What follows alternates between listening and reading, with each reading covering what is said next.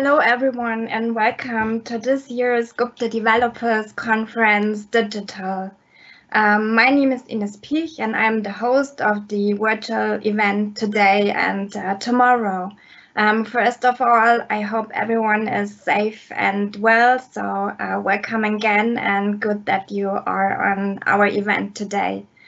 Um, in order to serve our Gupta developer community uh, during the situation we are in right now, and to be able to continue our DevCon series, we have decided to go with a virtual format um, and a European event this year.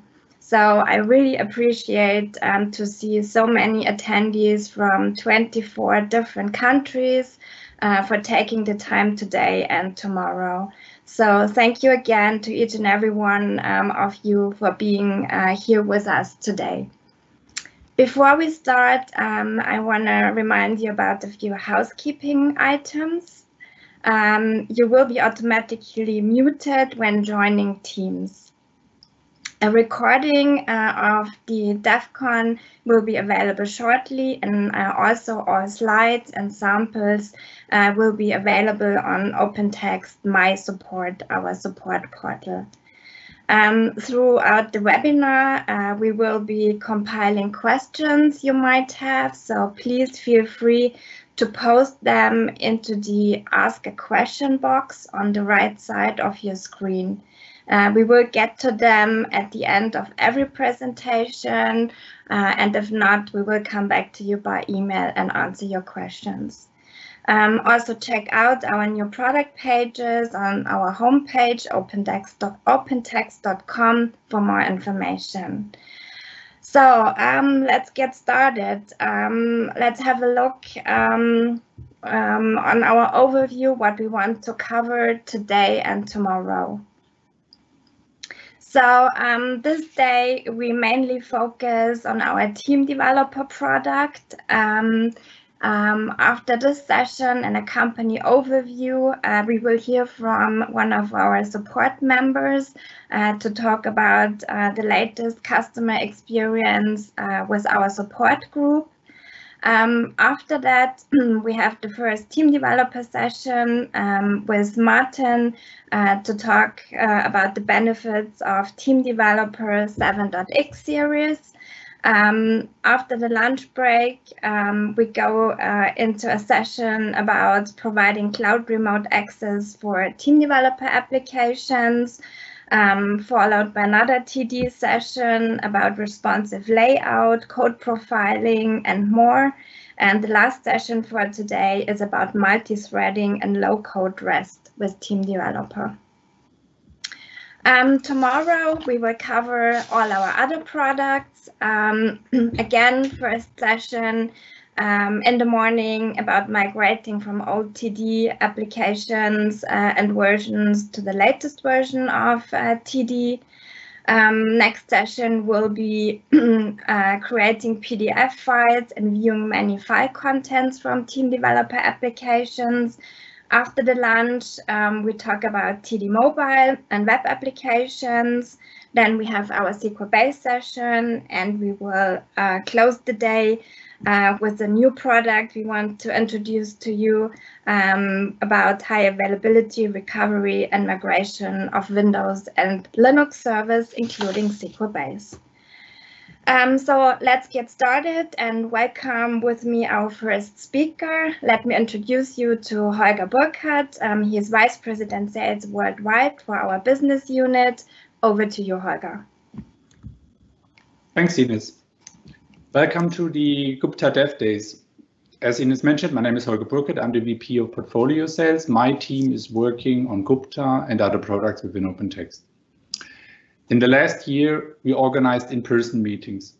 I'm a big fan of those uh, events, but like many of you, I miss talking and meeting to you in person. This said, the current situation forces us to change our communication, the way we meet and the way we support each other. And now we are doing a digital event and I'm impressed how many parties and customer joins us. And I need to admit we may have done, uh, should have done this uh, earlier. Digitalization um, this is a topic I would like to talk with you about. You saw an intro video showing market drivers, what people are working on, uh, what we need to achieve. We are building the digital futures.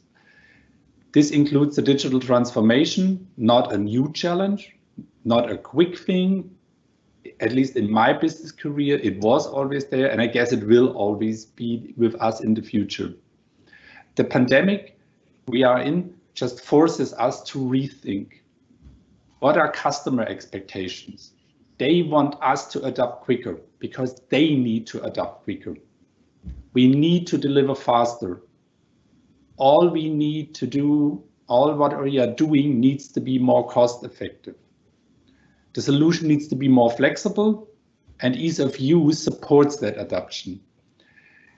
Quicker, easier, more cost effective to support adoption and protect our customers and make sure they manage and survive this change.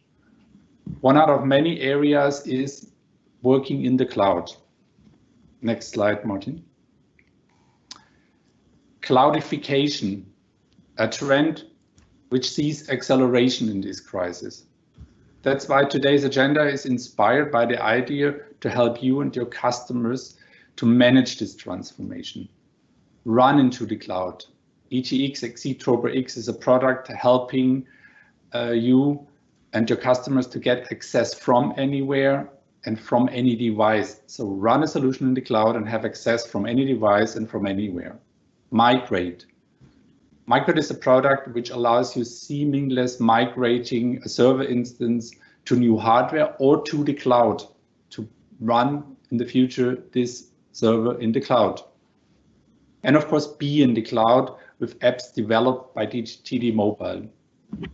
You get more details for these solutions in the Dev Days sessions. Run, migrate, and be in the cloud. Next slide. We are here to help. OpenText is a strong partner, a partner you can trust in. One aspect of this strength is our financial strength. And I would like to give you a brief update about the OpenText results. Next slide. Um, all the data, actually all the financial slides you see here are part of the investor and market publication and can be found on the OpenText webpage. OpenText is the leader in the information management arena. 89 of the world's largest 100 companies are OpenText customers, and uh, OpenText has shown six years of consecutive revenue growth. Next slide. The OpenText fiscal is from July to June. So our fiscal 2020 ended in June. Uh, the financial highlights you can find on the right side. Just to give you some some ideas, the, the revenue is has grown to more than 3.1 billion US dollar. Our cloud revenue has increased by more than 27 percent and OpenText has an ex excellent free cash flow status, increased by 8.5%. We will continue to invest in products and we are looking for new mergers uh, and acquisitions. Next slide. Um, the last quarter was the first uh, in the OpenText fiscal 21. And the number shows we continue to be successful and strong. The current pandemic crisis is affecting all of us. OpenText is doing great in the current situation. Uh, and if you look to the cloud revenue, it's even growing faster. Cloudification is a trend. Next slide. So OpenText is a strong partner. We are a partner you can trust in, and we will help you. Enjoy the Gupta Dev Days 2020 I hope you benefit from the sessions we put together for you. Stay safe, stay well, and back to you, Ines.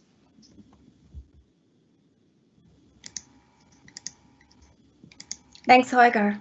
Um, I have a couple of more things for you. Uh, so first of all, I want to introduce you to a new face, Eric.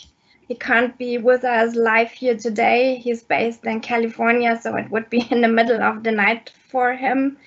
Um, Eric is the uh, manager software engineering for the Gupta products. Um, Eric is with OpenText since 15 years. Um, as I said, he's based in Anaheim, California. Uh, he is responsible for managing multiple software engineering teams within our business unit. And uh, since February this year, he looks after the Gupta product set. Um, so he also works closely with product managers, our QA team, release engineering, and our support teams. Um, he also assumed the role of a Scrum Master uh, to ensure that his development teams abide to Scrum and other frameworks and agile development methodologies. Um, he has also worked at the University of California in the division of mobile application development. So he is a perfect addition uh, to our development team. Next slide, Martin. Um, I want to remind you uh, of uh, our My Support portal I mentioned before, um, where you can find a lot of information starting from success stories, um, all presentations of the DevCons we had in the past, but you will also find um, the slides from this year pre uh, presentations, including our samples. Um, if you want to know what version of TD, for example, is compatible um, with what platform, uh, that's stored there as well. Um, you can find all the data sheets, uh, videos, and um, last thing I want to remind you of is the OpenText blog um, on our website, specifically about the Gupta product. So if you have not looked at it, I would encourage you to do so. Next slide. Okay, and now here's the fun part. if you um, will be joining all days, uh, today and tomorrow, um, you can win an Apple Watch. Um, I hope you all clicked uh, that you agreed to, to the terms. Um, so after um, the event, we will uh, draw your name, one name from all of the attendees, um, so you can win the Apple Watch. Okay. And with this, Martin, next slide. Um, yeah, with this, I will hand over the presentation now to Martin Teetz. He is the product manager for the Gupta products, and he will tell you all and everything what's on the roadmap for Team Developer, SQL Base, and TD Mobile. So over to you, Martin. Thank you very much, Ines, and uh, welcome everybody. So I'm going to go through the um, roadmap of the Gupta products now. Going to talk about SQL Base, TD Mobile, and Team Developer, and we will have a Q&A session after this for the first few presentations. Initially, I'd like you to, to do this here. I have prepared a quick overview product survey that you can um, take now just um, scan the barcode on your smartphone and work through those questions. And when we got, come to the question and answers, I will share the results for you with you. Or just go to bit.ly slash gupta dash product dash overview.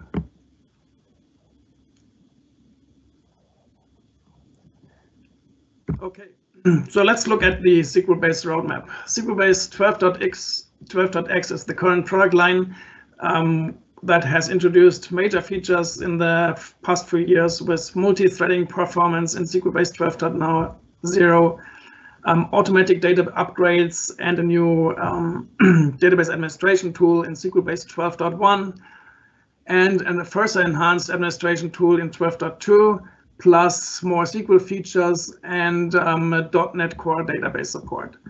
And um, we also do SQLBase service packs um, on uh, customer demand, of course. So we had SQLBase 12.2 in January. We will have SQLBase 12.2 in January um, next year. So that's the next first, next planned um, release. Sorry, I put that under available. Um, SQLBase 12.2.1 was in April this year and 12.1.3 in November 2019. And a quick word on the product lifecycle um, within OpenText. Every OpenText product version has a five-year lifecycle. And you see here the table of um, versions that are in support in green and the versions that are out of support in red. So SQLBase 12.x is out of support since August this year. And um, 12.2, which is the current version, will, will be fully supported in engineering until July 2024. So the SQLBase roadmap. We have had SQLBase 12.2, and the next one is SQLBase 12.3 in Q3 uh, next year with security enhancements for password strengths, rules, and things like that. You will get a data protection audit to comply with GDPR rules, um, some developer and query features, and you will get um, EDP installer enhancements like create a, a, FileMaker list so that you can create easily the custom installers you need for your software um, solution.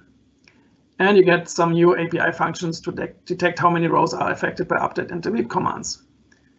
And we also have a version 12.4 in the planning for uh, 2022 with um, developer features like support for the .NET Entity Framework, um, enhancements to the SQL Talk Plus um, administration tool like visual editors, scripting features, and we will also add other customer requested features um, like support for the .NET Entity Framework. So I had that two times. So this is customer requested, but we will also add other customer requested features um, until that time then.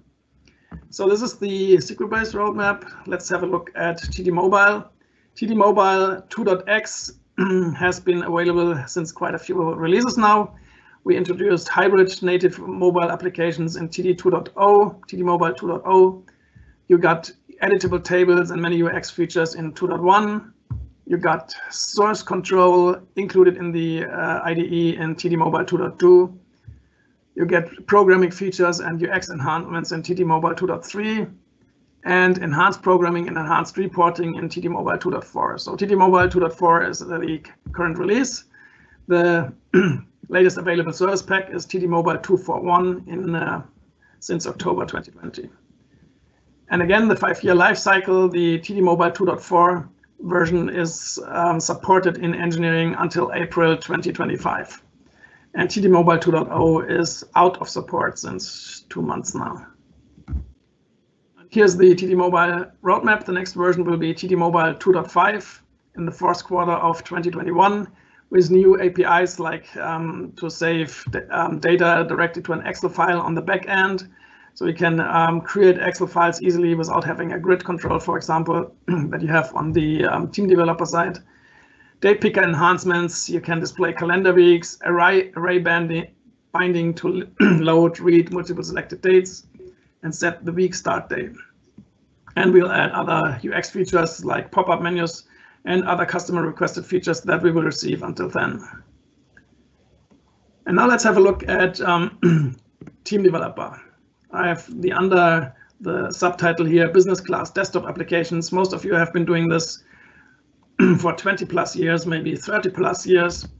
And the current team developer 7.x series um, has received a number of very exciting and powerful features like 64-bit support in TD 7.0, multi-threading and source control in 7.1, uh, code profiling and low-code REST in 7.2, the responsive layout that was very well received in uh, 7.3. That was basically that what we talked about at last year's um, developer day in Munich. And for team developer, you see we are providing very many service packs to satisfy your needs. You, ha you have available team developer 7.3 since um, November. So that was the last one that we just released a few days ago and is available on my support. 7.3.3 in October, 732 in September, 731 in June, 715 in June, 722 in April, 721 in September 2019. So you see, we are quite engaged and we have quite a short release cadence um, there. And Steph, after me, will talk about the release cadence model that we developed in the past few years. And we also have upcoming service packs, just to mention 716 in January, 734 in February and 2724 in March. And of course, that will be, continue. here's the team developer life cycle. So the current 7.4, no, sorry, the current 7.3 product will be supported until January 2025. The next one, 7.4, will be supported until um, Q2 in 2026. And the team developer 6.3 and older versions are out of support since March this year. So it's time to upgrade to the 7.3. so here's the roadmap. And by, this, by the way, these are the slides that are also being used on the uh, Gupta My Support, where you can always check the um, roadmaps. And basically what you see now uh, will be the update for the Gupta roadmap for, um, for the new year. So 7.4 will come in Q2 2021 with programming features. You will see for each loops, continuous statement for loops. So nice um, programming enhancements for uh, loops. And I will be showing some of this actually in the 7.x team developer session later today. Um, application deployment enhancements, you will be able to distribute applications via the Windows Store. You will get an installer creator for Win32, Win64 applications, which we already have for .NET. You get quite a few reporting enhancements, and this list here isn't um, isn't totally complete. Um, I will talk to the reporting um, enhancements in, in the next slide then, and some UX features um, like .NET control anchoring and ribbon bar class. We will also have a developer 7.5 planned for Q2 2022 with um, programming enhancements like UDV cloning, UX features like responsive layout, percent resize property. So you can basically set up the um, the real estate and assign percentages of the complete width or height of a window to a control to better control the behavior of the responsive layout. Multi-column combo box, a native splitter control, spell checking, and in, in, reporting, we will add preview zoom, zooming, and we will also add more customer requested features as they come in. And we will, of course, surely learn more feature requests from you guys today, I, I hope. And that's the high level roadmap. Now let's look a bit more in detail into Team Developer 7.4. So for each loops, continuous statement for loops. So basically you can say continue and it will go into the next iteration of the loop. Reporting enhancements, you see there are quite a few. You can now insert PDF or TIFF files between report pages. So you can create kind of mesh reports, um, which is quite powerful. You can you can use PNG image transparency um, for images in your report. The EXIF data of an image is used for the image orientation, so it does always um, orient um, portray uh, pictures, for example, in the right um, orientation. You have conditional, conditional display for the picture control in Report Builder. You have support for more break groups, 16, before you had 8. You get support for duplex printing right out of TD. And you get an API to send a PDF file right to the printer without um, running, without um, sending, you know, without using Report Builder APIs. UX enhancements, responsive layout. you get control anchoring for .NET applications, control anchoring for toolbars. You get a new ribbon bar class so that the entire windows are um, object oriented now. And that has been requested quite a number of times. Window zooming, you can increase the size of window contents. So um, if you want to increase the size of fonts and everything, you can now do that very easily. And I will show that off later the deployment enhancements, MSI installer creation, and support for selling TD applications via the Microsoft Store. And there's one IDE enhancement, a combined find and search dialog. And that really is, um, oh, the 7.4 preview.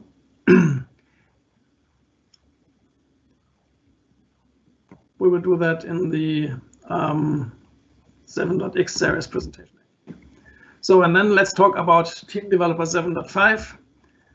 So user interface enhancements. There are quite a number planned for 7.5. The multi-column combo box, a native splitter control, spell checker, MDI background image, move rows in a grid. So you can basically have an, you will have an API that moves uh, rows around in a grid.